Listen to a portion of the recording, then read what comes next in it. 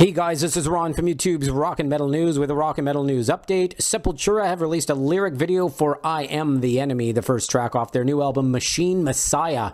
Machine Messiah is out on January the 11th through Nuclear Blast. Take a listen to the song in the link in the description of the video.